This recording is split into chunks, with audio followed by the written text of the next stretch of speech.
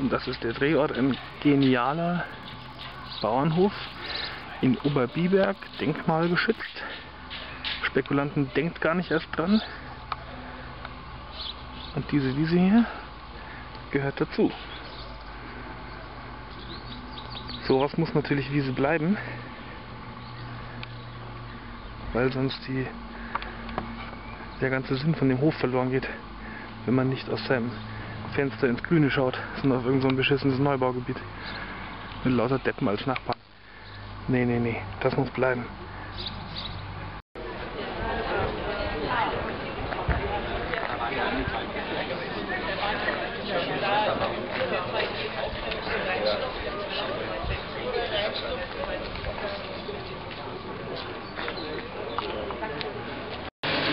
Das ist der wichtigste Job am Set, den du hast. Absolut. Und da kommt auch schon mein Kaffee.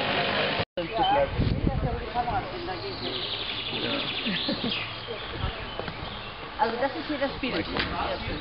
Das ist das Bild in die andere Richtung natürlich, genau. Das ist rund um 360 Grad Bild.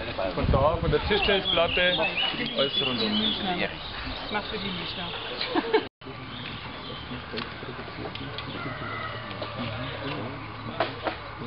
So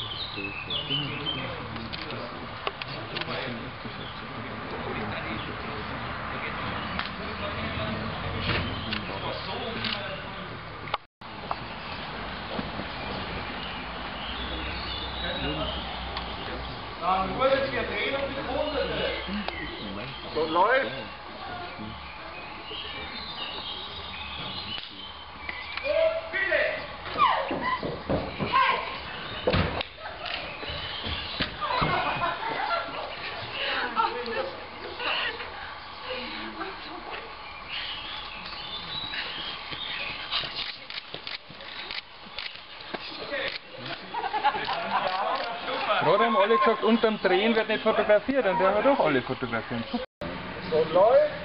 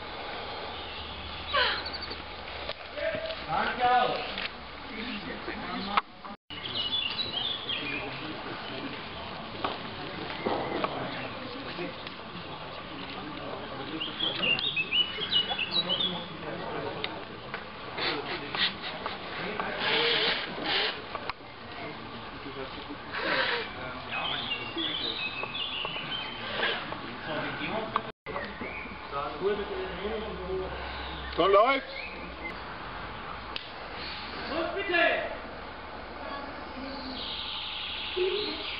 In unseren Garten, in jedes Gras, in jede Blume, in die Wäsche, in uns. Und das ist erst der Anfang.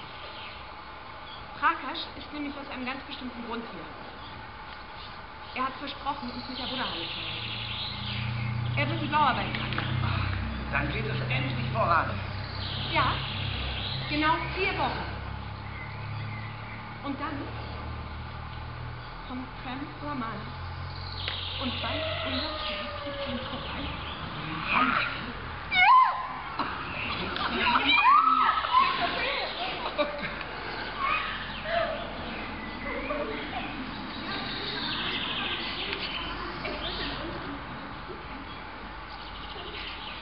Und wir gehen einen Schritt noch zurück.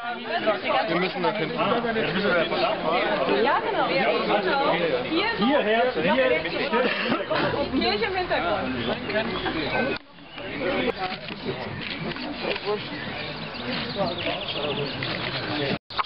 Kann man nicht ein Arbeitsbild machen? Das ist fürchterlich. Nein, jetzt machen wir es immer noch so. Ja, vielleicht, äh, ähm, das Geschwisterpaar ist vielleicht nochmal. Vielleicht noch mal was?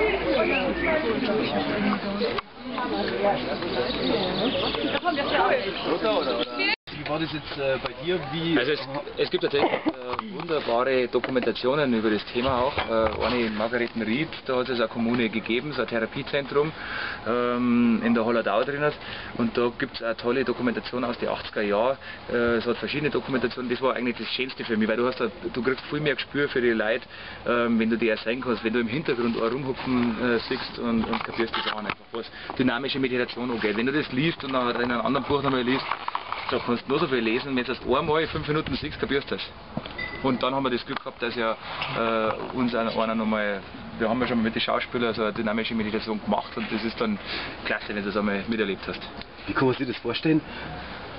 Du, das ist ähm, körperlich, also das ist eigentlich interessant, weil es sehr körperlich ist. Also weil du dir, weil du rumhuckst und du musst dich halt trauen und wenn du es mal verlierst und in der Gemeinschaft verlierst du sehr schnell die, den Charme, vor, dass du irgendwie blöd ausschaust, weil jeder blöd ausschaut und dann ähm, und dann wird es eigentlich spaßig und dann kommt da plötzlich, dann bist du außer Atem, dann kommt so ein Ruhemoment und, und tatsächlich kannst, kapierst du sofort, was du dem Ganzen abgewinnen kannst oder warum das, das einen Reiz hat. Also solche Sachen, dynamische Meditation. Das ist ja das Interessante oder das was in dem Film durchaus auch rauskommt, dass ähm, gut, da kommt er extrem daher nach Bayern. Du hast ganz klar diese äh, Unterschiede ganz deutlich und, und merkst aber heute, 30 Jahre später, was das für einen Einfluss auf uns gehabt hat. Eben, wer schon öfters, werden andere jetzt auch schon gesagt haben, eben mit Meditationen, Yoga, Kombucha-Drinks ähm, und viel mehr, glaube ich. Auch mit ähm, einfach, dass man ähm, Freikörperkultur oder einfach, oder dass man das ist auch sowas schleicht sich dann ein. Da wird zuerst das große Widerstand, dann ebbt es wieder ab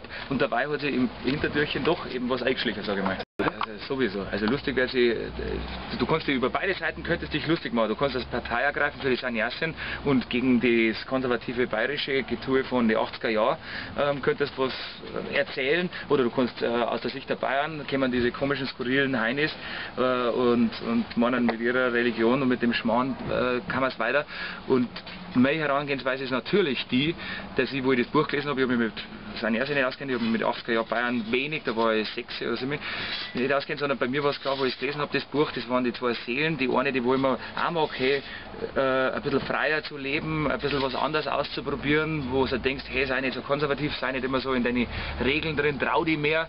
Und auf der anderen Seite aber halt dann doch das, der, wo sie nach den Regeln sehnt, der wo Regeln braucht und wo er immer wieder merkt, ähm, was die, der Inhalt des Films ist, was die Lilly entdecken muss, ist, was ist mein richtiger Weg, was für Regeln da wir gut, was für Regeln da wir nicht gut? Und das ist bei der Lilly so in dem Film. Und ich glaube, das ist aber das, was der Film vermitteln soll, dass, dass man sich nicht immer sofort über andere total lustig machen soll, sondern warum hat das einen Reiz und was ist das Gute daraus? Und, und das bin ich mir sicher, dass es in Zukunft jetzt immer wieder äh, gibt die Bewegung, die Bewegung und äh, Bewegungen entstehen immer darum, weil das andere noch nicht perfekt ist und, und so kann der Weg laufen irgendwo. Das auch aus deiner eigenen Kindheit nachvollziehen? Gab es da Ähnliches? Ähm, Ähnliches ähm, in dem Sinn natürlich, dass ich in einer Ortschaft, dorfmäßig aufgewachsen bin und zum Beispiel das Stadtleben erst begreifen habe müssen, viel später. Und, und, und wo ich mit Sicherheit als, als junger Bursch weiß, dass von dem oder von dem Vorbilder, ja, um das geht es ja hier natürlich auch wieder, ähm, erfahren hast, was gut ist, dass du, weil du das andere noch nicht erfahren hast, natürlich äh, die Argumentationslinie aus deiner Gruppe ähm, vertreten, aber du musst erst die Erfahrung machen und dann wechselt das natürlich. Und, und von dem her äh, hätte ich manches über Stadtleben früher anders gesagt, wenn ich schon Stadtleben erfahren hätte. Und jetzt schaue ich.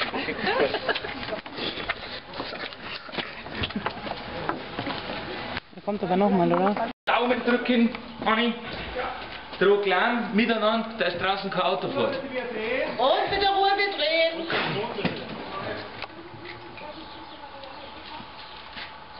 Und bitte!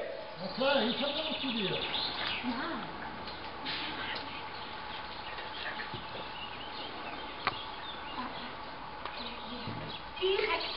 in unseren Garten, verströmt sich in jedem Gras, in jeder Blume, in der Bettwäsche, in uns. Aber nur dann.